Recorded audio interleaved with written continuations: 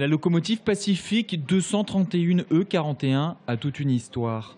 Exposée à Saint-Pierre-des-Corps depuis 39 ans, cette locomotive a transporté des millions de personnes et parcouru en kilomètres l'équivalent de 50 fois le tour du globe. À travers ses livres, Astrid Chabin, bibliothécaire à Saint-Pierre-des-Corps, nous raconte son histoire. Cette locomotive a tracté la Flèche d'Or, qui était donc le train qui assurait la liaison à partir de 1926 entre euh, Paris-Nord euh, et, Londres. Les gens prenaient le train à Paris-Nord, descendaient à Calais, prenaient le bateau et ensuite filaient euh, vers Londres par l'équivalent de la Flèche d'Or française, c'est-à-dire Golden Arrow en anglais. Cette locomotive, construite à Lille en 1936, est à l'époque à la pointe de la technologie.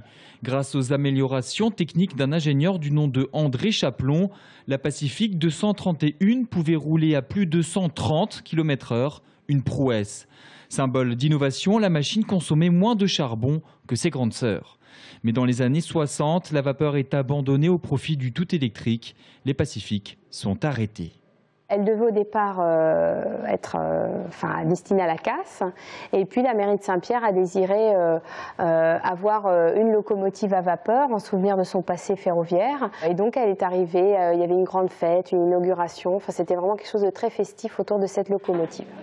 Poussée sur des rails construits spécialement de la gare de Saint-Pierre, décor à la place des déportés, la Pacifique 231E41 y reposa durant 39 ans. Aujourd'hui, avec sa restauration, c'est une page qui se tourne et peut-être que cette dame de fer pourrait un jour reprendre le chemin du rail.